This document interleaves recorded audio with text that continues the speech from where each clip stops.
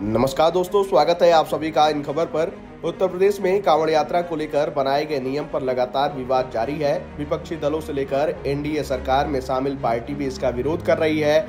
इसी क्रम में एआईएमआईएम के मुखिया असदुद्दीन ओवैसी ने कहा कि नेम प्लेट के मुद्दे पर भारत सरकार को दखल देना चाहिए।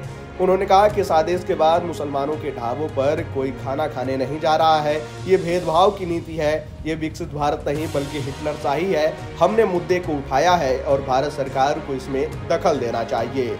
जरा आप भी सुनिए कि सदुद्दीन ओवैसी ने क्या कुछ कहा है। हाँ हमने भी उठाया है। हमने कहा कि कोई सरकार संविधान के खिलाफ ऑर्डर पास करती है तो भारत सरकार को उसका नोट लेना चाहिए, उनके पास अख्तियार है। ये इस तरह से जो ऑर्डर निकालकर आर्टिकल 17 का वायलेशन है संविधान का। अनटचेबिलिटी को प्रमोट कर रहे हैं। राइट टू लाइफ के खिलाफ है। आप लाइवलीहुड के खिलाफ है आर्टिकल 19 के खिलाफ है। और ये आप होते कौन है भाई? आप किस बुनियाद पर ऑर्डर निकाल और आपके ऑर्डर निकालने से मुजफ्फरनगर इतने ढाबे और मुस्लिम मुस्लिम एम्प्लॉयज़ को निकाल दिया गया है। जो मुसलमान के ढाबे थे, वहाँ कोई जा नहीं रहा है खाना खाने के लिए।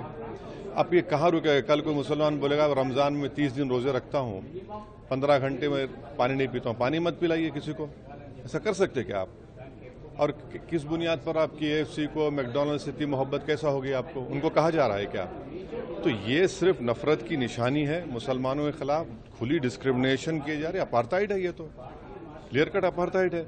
और हम विकसित भारत की बात कर रहे हैं या फिर हिटलर की, भारत की बात कर रहे हैं? तो सुना आपने कि असदुद्दीन ओवैसी ने क्या कुछ कहा है? दरअसल, उत्तर प्रदेश में कांवड़ यात्रा को लेकर एक आदेश जारी किया गया है, जिसके तहत दुकानदारों, ढाबा मालिकों, भोजनालयों और रेहड़ी पटरी पर सामान बेचने वालों को अपनी नेम प्लेट लगानी है। सबसे पहले इसे मुजफ्फरनगर, सहारनपुर और शामली जैसे इलाकों में जारी किया गया, फिर बाद में पूरे उत्तर प्रदेश में लागू कर दिया गया है।